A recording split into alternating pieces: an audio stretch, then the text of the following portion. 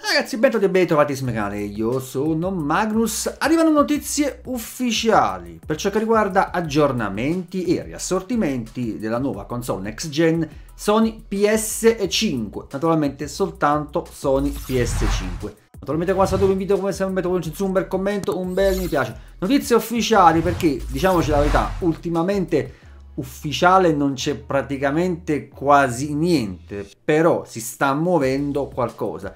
In che senso? Ufficiale già partendo dal presupposto che parliamo del profilo ufficiale Twitter di GameStop, dove in pratica hanno annunciato che dalla prossima settimana inizieranno a spedire le console che sono state acquistate, naturalmente in ordine di prenotazione e naturalmente soltanto quelle per adesso con dicitura di 3 il che cosa significa? Significa vuol dire che se le stanno ridistribuendo vuol dire che hanno ricevuto un riassortimento.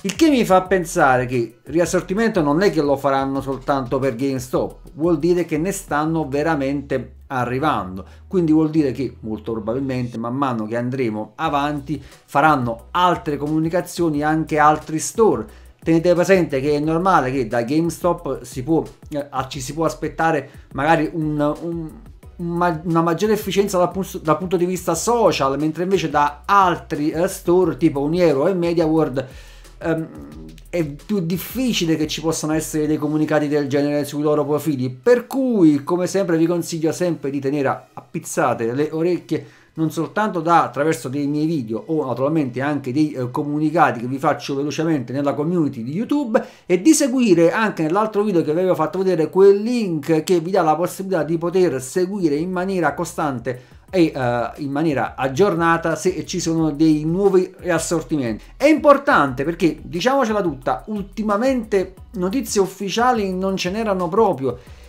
e come vi dico sempre, è strano, è veramente strano. Mi rendo conto che ci troviamo in un periodo, in un anno abbastanza particolare a causa della pandemia, però è strano che non ce ne siano completamente niente. Mi fa molto piacere perché ultimamente eh, GameStop sto vedendo che sta acquistando tantissimi punti, soprattutto perché eh, è ritornato diciamo di moda il gioco non più in digitale ma uh, quello fisico, che personalmente io adoro.